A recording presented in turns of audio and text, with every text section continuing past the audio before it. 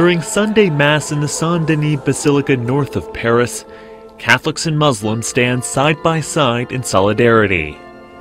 Together, they pay tribute to Father Jacques Hamel, who was killed last week in Normandy by two attackers linked to Islamic State. Father Eugene Dussal says they must move on.